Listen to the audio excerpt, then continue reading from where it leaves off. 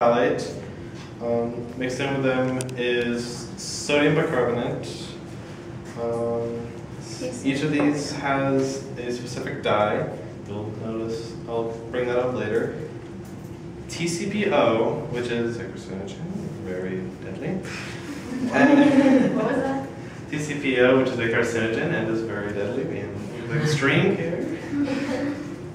And let's see, a lot of reagents in this one. And that's it, all of our dyes. And the last thing we're going to add here is 10 milliliters what? Of hydrogen. of 10 milliliters of hydrogen peroxide.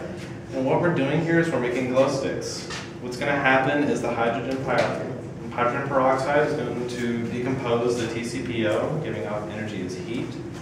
Each of the dyes we have in here is a fluorescent dye, so it's going to take that heat energy and it's going to basically give it off again as light.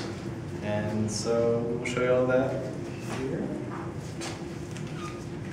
And each dye will give off a specific color. Lights, please.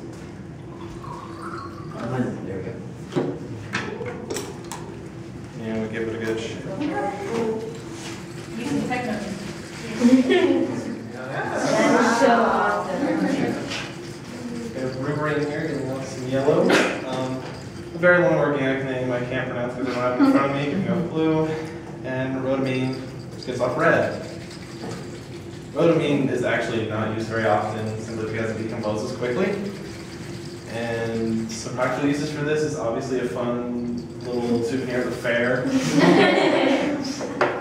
And uh, the other use for it is since our bodies actually make the type of heat that's needed for this, uh, they use it in cancer research, and they inject you before you go into a CAT scan, and it actually targets your brain cells, and whenever it hits them, there is a black spot where your tumor is.